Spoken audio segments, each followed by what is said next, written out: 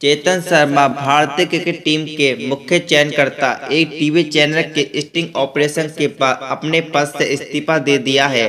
Sting operation में चेतन ने team और खिलाड़ी से जुड़े कई खुलासे किए थे। इसके बाद वे लगातार विवादों में बने हुए हैं। अब उन्होंने भारतीय पुरुष क्रिकेट टीम की चयन समिति के अध्यक्ष पद पर छोड़ दिया है। चेतन शर्मा ने अपने इस्तीफा बीसीसीआई सचिव जयसा को भेजा है और उनका इस्तीफा स्वीकार कर लिया गया गया है। शिव सुंदरम दास की समिति का अंतरिम चेयरमैन बनाए जाने की संभावना है।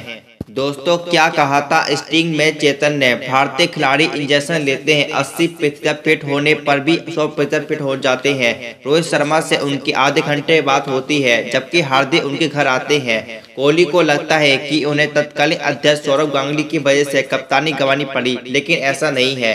कॉन्फ्रेंस में गोगली ने कोहली से कहा था कि कप्तानी छोड़ने से पहले फिर सोच लें। कोहली ने इसे सुना बिना बेवजह मुद्दा बनाया। चेतन ने इस्तीफा खुद दिया है। उनसे इस्तीफा देने को नहीं कहा गया था। जल्द के खिलाफ बंडे श्रृंखला के लिए चयन किया जाना है। सूत्र बताते हैं कि भारतीय टीम के कप्तान रोहित शर्मा और कोच राहुल द्रविड़ चयन समिति की बैठक में संग बैठने को लेकर ऐसे थे। इस बारे में बोर्ड को बता दिया गया था। अब मुद्दा यह उठता है कि बीसीसीआई के सामने असमझ की स्थिति थी कि अगली बैठक में चेतन शर्मा को इसमें बैठाया जाए या नहीं। पहले बीसीसीआई ने यह मन बनाया की जाँच पूरी नहीं होने तक चेतन को चयन समिति की बैठक ऐसी दूर रखा जाए, लेकिन स्टिंग के बाद चेतन शर्मा की स्थिति खराब हो गई थी। दोस्तों, ऐसी वीडियो पाने के लिए हमारे चैनल को सब्सक्राइब करें। लॉयर करके वर्ल्ड यूट्यूब चैनल। धन्यवाद दोस्तों। मिलते हैं अगली वीडियो के साथ साथ।